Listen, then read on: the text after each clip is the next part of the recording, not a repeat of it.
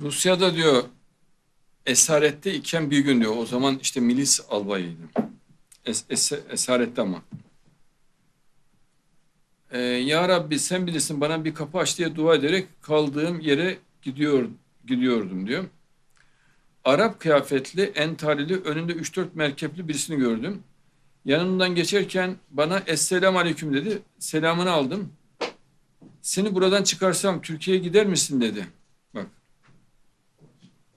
Durduk yere yani. Yani adam niye ilgilenirsin ki böyle bir şey? Giderim dedim. Buradan e, çıkacağım ama dört kapısı kapalı. Diyarbakır Kalesi gibi yerde bulunuyorduk diyor. Kapılarında bizim resimlerimiz var diyor bak.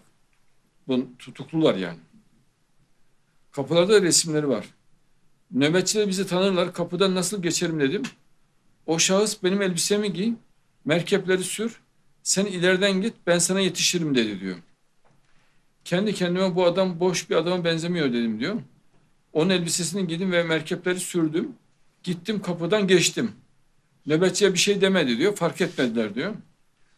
O şahısla 24 saat beraber gittik. Benim ayaklarım adeta şişti diyor. O dedi ki diyor hududa yaklaştık. Ben senin artık gelmeyeceğim dedi diyor. Ben düşündüm ki doğru yoldan gidersem Ermeniler, Ruslar onların dilini bilmediğimden geri çevirirler. Ayrıca ince bir yol vardı. O ince yoldan yürüdüm bu sefer diyor. Akşam oldu diyor. E, yol bir dağa çıktı diyor. Orada yol falan da yoktu diyor. Şaşırdım tek başına gidiyor bak. Baktım orada dağda bir inek var. Onu sürersem bir e, işte yola girerim yani bir şeye rastlarım, bir şenliğe rastlarım diye düşündüm diyor. İneği sürdüm diyor. Hayvana yani sopayla yönlendiriyor. Bir mağaranın önünde durdu diyor inek. Kendi kendine yürüyordu diyor hayvan. Bir mağaranın önünde durdu diyor. Ee, biri hayvan niye duruyorsun derken baktım mağaradan bir pirifani abid çıktı diyor bir insan. Çok yaşlı diyor. Beni ismen cismen biliyor diyor. İsmiyle söylemiş. Said diye. Bu ne bu? Ne anlarsınız bundan? Bediüzzaman kendi anlatıyor bunu. Bana hoş geldin, ehlen ve sehlen dedi diyor ismiyle. Sen yorulmuşsun, açsın diye beni içeriye aldın. Benim ekmeğim falan yok diyor. Bu ineği yaz kış sağar sütünü içerim demiş adam. Bak benim ekmeğim falan yok. Bu ineği yaz kış sağar sütünü içerim demiş. Bana süt sağıp getirdi.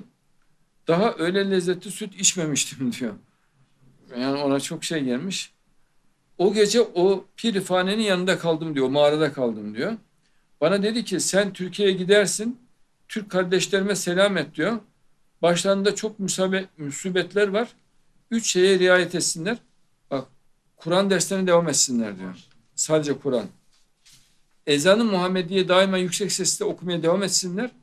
Bir de cemaatten ayrılmasınlar diyor. Ne bu? Dağın tepesinde ya inek gidiyor mağaraya mağaranın içinde yaşlı bir adam pirifani bu ne bu? Ve esir. Esir olmaktan kaçıyor bak her aşamada Hızır devreye giriyor. Bir orada yaşlı adam olarak çıkıyor. Burada başka birisi olarak çıkıyor. Orada başka birisi olarak çıkıyor. Yani sürekli şekil değiştiriyor. E anlayamaz. Aklın ihtiyacı almaz bu. Yani mağarada bir adam.